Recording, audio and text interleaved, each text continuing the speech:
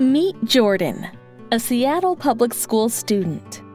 Jordan's education is funded through federal and state dollars, but also local levies approved by taxpayers like you.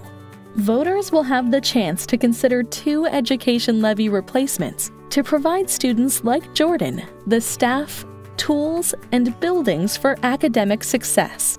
Prop 1, the EP&O levy, ensures that Jordan and other students have everything they need to succeed, like additional school staff, nurses, and counselors, funding for special education services, textbooks and instructional materials, and enough school funding to bridge the gap between what the state provides for education and what our students need.